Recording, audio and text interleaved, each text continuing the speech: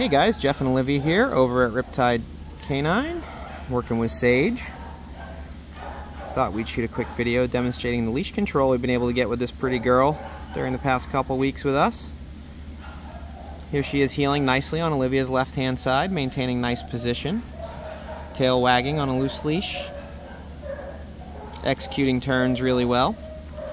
And then we're going to automatically sit when Olivia stops and then go into a sit stay. So we just say the word sit. No stay command necessary, just the word sit. And sit means sit and don't move. You saw she tried to break there, so Olivia gave a slight correction. But we should be able to back away up to the length of the leash just like that and have Saige remain in that sit position. We're going to go into some heeling again.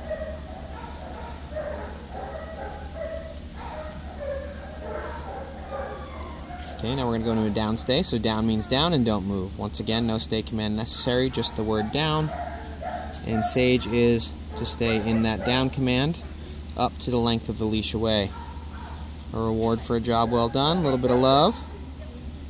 Back into some heeling again.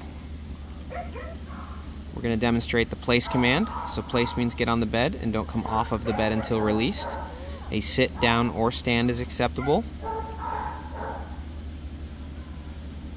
Very nice.